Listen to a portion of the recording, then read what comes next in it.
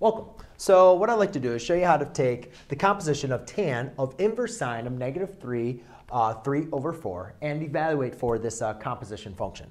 So since I notice I'm taking the inverse sine of negative 3 um, over 4, uh, I notice that it's not going to be a point that's on the unit circle, so I'm going to have to create two, uh, some right triangles. Now, there's a couple right triangles that I can produce. Since my opposite side is negative 3, I have two triangles here.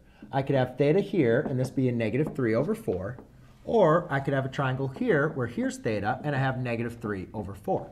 Remember, your hypotenuse is always going to be uh, positive. So my opposite side is going to be always be negative 3. But since I'm taking the arc sine, I need to make sure that my function is going to fall within the inverse, I'm sorry, it's going to fall within the range of my function. Therefore, my angle has to fall between negative pi halves and pi halves, meaning this triangle has to be either in the fourth or in the first quadrant. Well, this triangle, how it's written, is going to land in the third quadrant, so therefore it will not fall within the range. So therefore, I can't use it.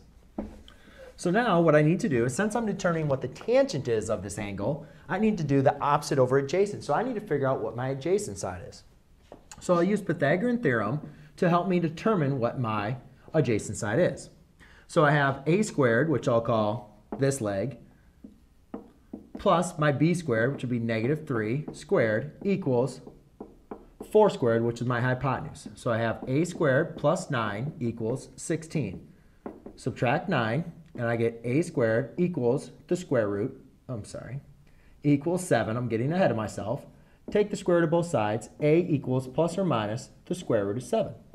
Now, since I know that my um, this side length is positive, I'm just going to leave this as the positive square root of 7. Now what I need to do is evaluate for the tangent of this triangle. Well, the tangent is going to be, remember, the tangent of an angle in a right triangle is going to be your opposite over your hypotenuse. So in this problem, that's going to leave me with a negative 3 over the square root of 7.